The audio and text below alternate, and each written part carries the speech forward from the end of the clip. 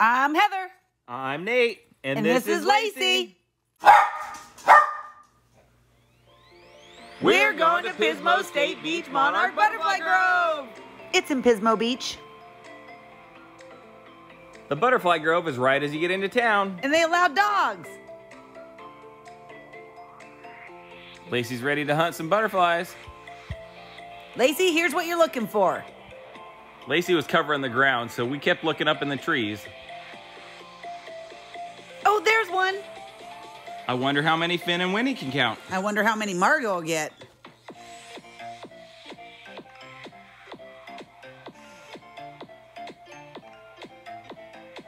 There's one way up there in the tree, hard to see. Lacey, have you found any on the ground for us yet?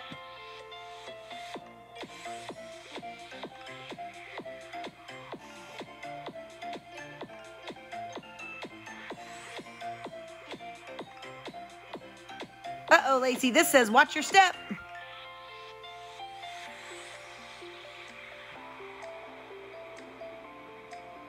They had a little museum and gift shop here where they told you how many butterflies they saw that day.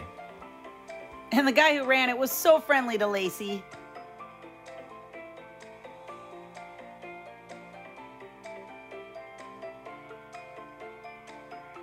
Butterflies and milkweed, I guess they go together.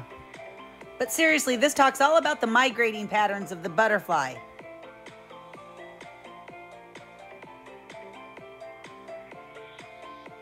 Oh, and this shows the life cycle of the butterfly. From egg to caterpillar to cocoon to butterfly, it takes a lot of milkweed to make a butterfly.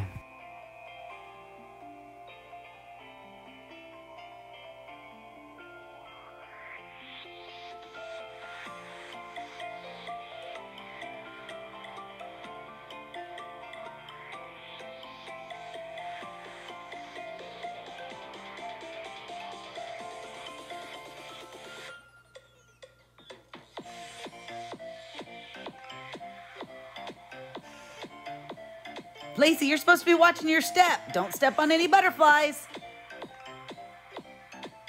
And we need to keep the western monarchs migrating. Oh, I'm gonna need to work on my gardening skills.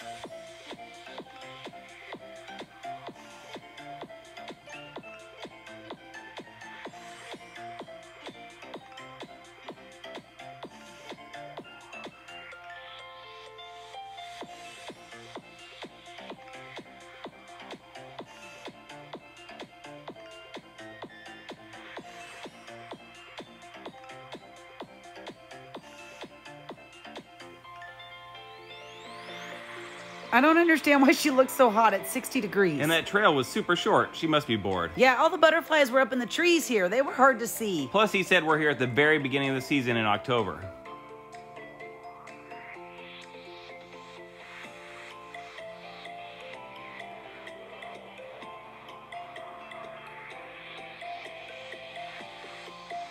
Thanks for going to the Pismo State Beach Butterfly Grove with us. And that was all the butterflies we saw at the Butterfly Grove. However, the next day we were traveling up the central California coast and we stopped at the Madonna Inn. It looked like all the monarchs had stopped here. They hadn't made it to the butterfly grove yet. So I thought I'd add the leftover butterfly footage here.